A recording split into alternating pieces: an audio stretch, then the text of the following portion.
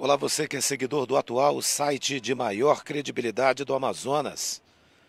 Você vê imagens do Tribunal Regional Eleitoral, em sua sede em Manaus, aqui no bairro Aleixo. É daqui que nós vamos passar a você, nosso seguidor, os principais destaques desta manhã. E a gente já começa com a informação de que teve início nessa terça-feira o prazo para requerer o voto em trânsito. Desde ontem e até o dia 23 de agosto, o eleitor poderá habilitar-se perante a Justiça Eleitoral para votar em trânsito, ou seja, fora do seu domicílio eleitoral nas eleições 2018. O voto em trânsito pode ocorrer no primeiro, segundo ou em ambos os turnos de uma eleição mas somente em capitais e municípios com mais de 100 mil eleitores. Segundo a legislação, para votar em trânsito, o eleitor deverá comparecer em qualquer cartório eleitoral e solicitar sua habilitação. Basta apresentar documento oficial com foto e indicar o local em que pretende exercer o seu direito de voto. Apenas cidadãos que estiverem com situação regular no cadastro eleitoral podem votar em trânsito. Eleitores que se encontrarem fora da unidade de seu domicílio eleitoral poderão votar em trânsito apenas na eleição para presidente da República. Já aqueles que estiverem em trânsito dentro da unidade da federação, ou seja, o Estado, porém em município diverso de seu domicílio eleitoral, poderão votar para presidente, governador, senador, deputado federal e deputado estadual. O atual lembra que o voto em trânsito não é permitido em urnas instaladas em outros países. Entretanto, eleitores com título eleitoral cadastrado no exterior e que estiverem em trânsito no território brasileiro poderão votar na eleição para presidente da República. Outro lembrete do atual Caso o eleitor habilitado para votar em trânsito não compareça à sessão, ele deverá justificar sua ausência, inclusive se estiver em seu domicílio eleitoral de origem no dia da eleição. A justificativa de ausência nos dias de votação não poderá ser feita no município por ele indicado para o exercício do voto.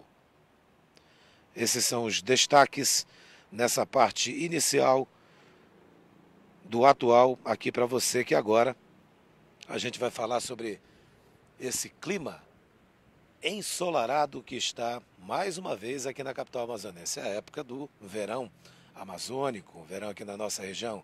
A gente lembra que deu uma chuva bem gostosa durante a madrugada hoje, forte por sinal também. Choveu bastante, mas o sol já está aí com sua carga máxima nessa manhã. Aqui no atual, você fica sabendo que a temperatura nesse momento é de 25 graus, aumentando. E a máxima deve chegar a 36 por volta de 13 horas.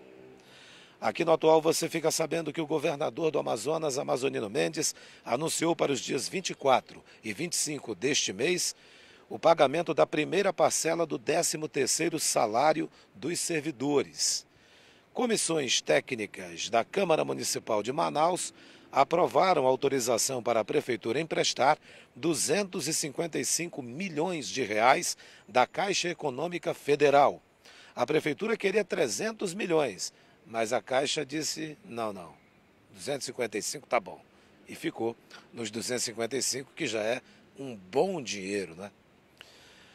Já o Tribunal de Contas do Amazonas julgou ilegais convênios das secretarias de Educação e de Esporte do Estado para reforma de escola e projeto de esporte, respectivamente. O valor dos dois contratos é de quase um milhão de reais. Só para reforma, hein?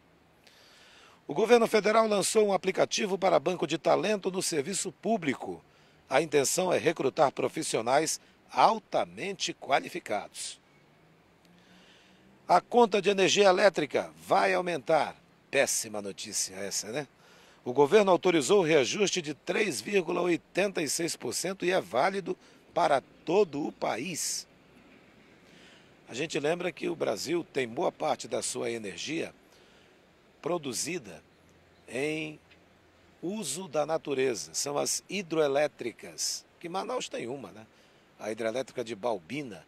O Brasil é detentor também da maior hidrelétrica do mundo, a de Itaipu, convênio ali com o Paraguai. E tem outras hidrelétricas ainda em construção, aqui na região norte, do Giral, por exemplo. Mas a conta de luz é uma dor de cabeça ao cidadão brasileiro.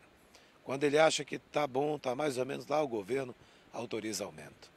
Parece pouco, 3,86%, mas num valor de uma, gasol... de uma energia já cara, aumenta é muito mais caro. Então não tem nada de pouquíssimo reajuste, não. É alto sim. E se você está ansioso para receber o PIS PASEP, já pode consultar o valor corrigido por reajuste autorizado pelo governo. Vá lá e tire o seu dinheirinho. Ah, mas é um real, nem vale a pena tirar, tire, não deixe para o governo não. Você sabe o que acontece quando o dinheiro do contribuinte fica com o governo, né? E a Confederação Brasileira de Futebol vendeu os direitos do Campeonato Brasileiro para a rede atacadista Açaí. A competição vai se chamar Brasileirão Açaí. Estes outros destaques você acompanha aqui no atual, que volta a mostrar a imagem aqui da frente do Tribunal Regional Eleitoral. Ano de eleição, esse ano. Muita gente tem falado nas redes sociais que não vai votar, não vai exercer o seu direito.